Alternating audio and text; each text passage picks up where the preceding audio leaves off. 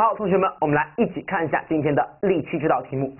如图，在图中的空格内填入合适的数字，使乘法数式成立吧。嗯来观察一下，现在是一个三位数乘一个两两位数然后一个四位数加上一个三位数吧。对当然了，这个三位数的最低位是在十十位，最后等于一个五位数数，有三个线索，三个八吧。对对不对？嗯好，我们讲了很多的这个乘法数式填空格了吧？对那么这道题，同学们暂停视频，自己去动笔算一算。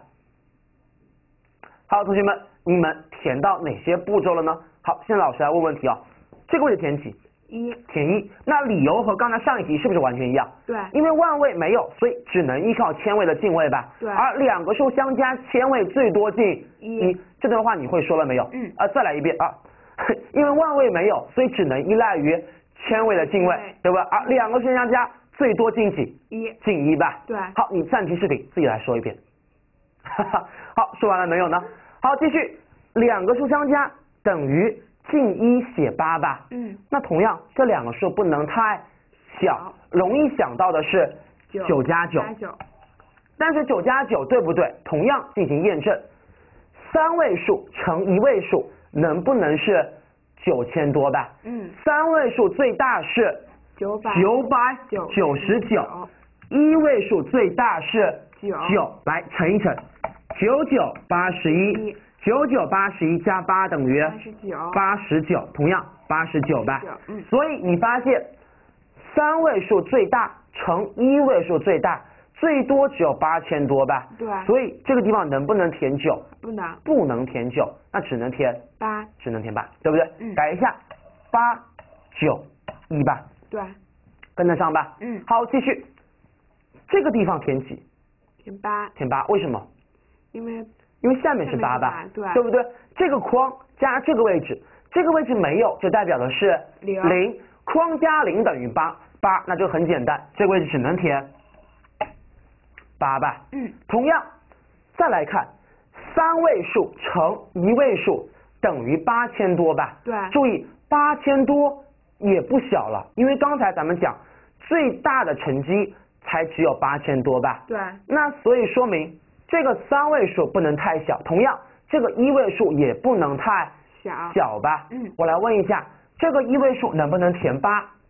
你可以试一下，对不对？嗯如果一位数是八，三位数最大是九九九九吧？嗯，对不对？对乘一乘，八九七十二，二，八九七十二加七是七十九九，八九七十二加七七十九吧？嗯所以如果这个一位数是八的话，即使三位数最大，也满足不了八千多了吧？对，所以这个位置一定填九，九，又搞定了，又是采取估算的方法吧？嗯，对不对？对好，那继续，谁乘九？各位是八，二，二乘九吧，嗯，对不对？对二乘九，各位是八，写八进一吧，一，嗯，是不是？对，好，再来看，好像它乘九等于八千多，好像目前能推理的就到这地方结束了吧？对，好，不要着急，再来看第二个乘法，是框框框框框二，对不对？乘这个框等于九百多吧？对，而我们讲这个三位数又不能太小，所以自然而然想到的这个三位数本身就是多少？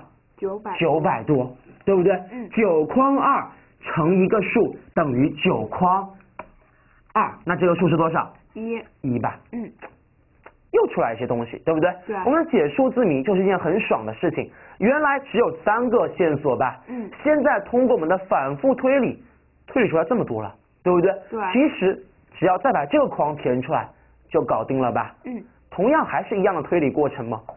这个数不能太小，对不对？对，你可以试一下，填八行吗？我们来试一下吧，好吧？填八行不行？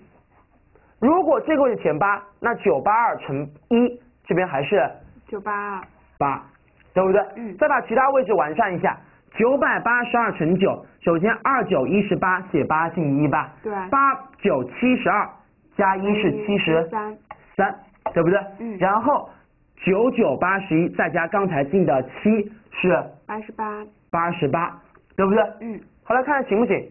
八掉下来没问题吧？对，三加二等于五。哎，也没问题。但是什么地方有问题？八八加八能写八吗？不能。不能写八，所以说明刚才假设这个位置是八，对吗？不对。不对，所以立刻怎么样？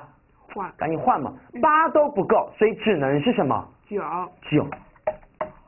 对不对？嗯。也就是说，当你还差最后一步的时候，或者最后两步的时候，你实在想不到有什么突破口了，那你别绞尽脑汁的去想吧。嗯。你就去试一试，对不对？先是八，八都不够，那只能是九了吧？嗯。听明白没有？对。好了，那我们来看这道题的完整答案。那最后呢是用九九二乘十九吧？嗯。那最后答案等于一万八千八百四十四十八。听明白没有？嗯。那么。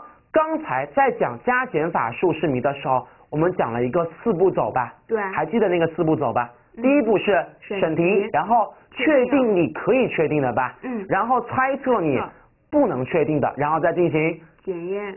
检验，对不对？嗯。那么现在呢，老师帮大家重新定义一个新的四步走，我们来看一下，叫做先乍看，乍看就意味着你先确定。非常常见能确定的，比如说这个位置是一，对不对？嗯。这个位置是八，对不对？对。再来，再仔细瞧，瞧出什么？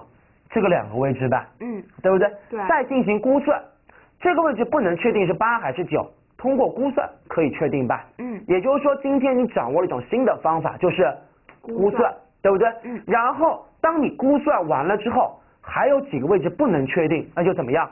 连蒙带凑吧，对，对不对？你先找一个你觉得有可能的，对不对？嗯。如果恰好正确，那恭喜你，对不对？嗯。如果没有正确，也不要着急，调整一下就对了吧？嗯。听明白没有？嗯。好了，我们的乘法竖式填空格就讲到这里，我们稍微休息一会儿。